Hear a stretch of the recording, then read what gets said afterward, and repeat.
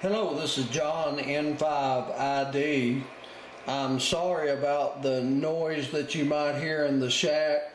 I have a small box fan running because it's a little bit warm in the sunroom today.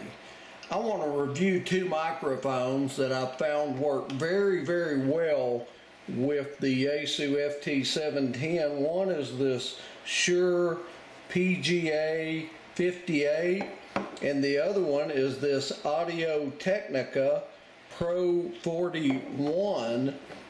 Before I go any further, I know people will make comments and say he's not an audio engineer, and that's correct. And I know people will say, well, he doesn't know really what he's talking about, and that's true in a lot of instances. But what I have found in my own personal experience is these two microphones work very well with the Yaesu FT710. You don't have to break the bank to get into ham radio. You can buy a Yaesu FT710 uh, in the $900 range and the Shure PGA 58 I believe is under $60 and the Audio Technica Pro 41 may be under $50. You don't have to put a $400 mic on the radio to make it sound good. I'm going to quickly go over my settings with regards to the microphone. Now, both of these mics, I leave the AMC on 100, the processor on 40, of course the mic EQ's on. The only difference is I turn the mic gain up to 65 for the Audio Technica and I turn it down to six, uh, 60 for the Shure. Now I'm going to go into radio settings. You'll notice my transmit bandwidth is opened up at 50 to 3050 hertz.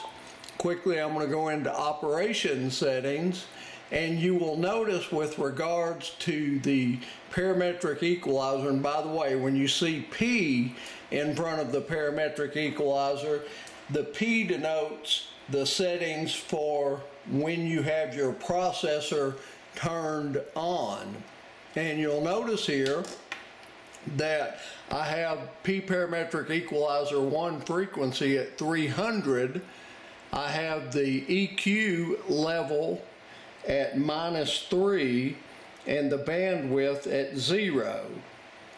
And on P parametric equalizer 2, the frequency is 1500 hertz, the level is 10, and the bandwidth is 1.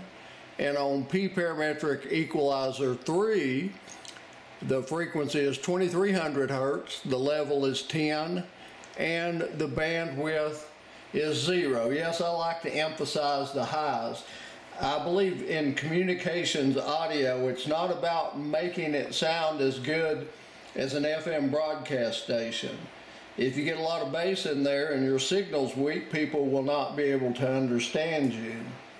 So what I want to do now, uh, earlier I recorded on a web SDR uh, receiver in Utah I recorded these two microphones. So it's a live over the air test.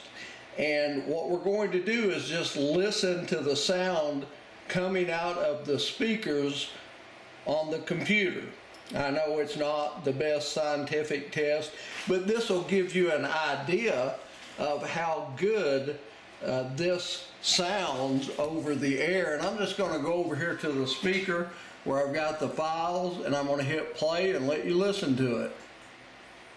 November 5 India Delta is audio testing on the Yaesu FT710 with the Shure PGA 58A audio test. November 5 India Delta is audio testing on the Yaesu FT710 with the Audio Technica Pro 41 microphone. Audio test one, two, three. And as you can hear, it sounds pretty good.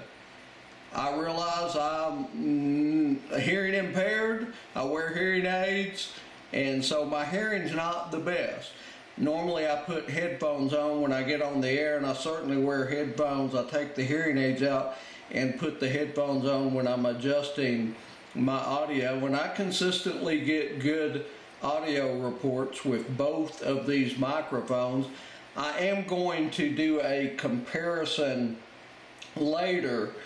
I have a Yaesu MD100 desk mic, which sounds very good on this radio, and I'm going to compare it to a couple of studio dynamic microphones that I have ordered, and I'll put that video up later when I get the microphones in. I hope you enjoyed the video. If you did enjoy it, please subscribe to my channel. I hope you have a wonderful day. Thank you and God bless.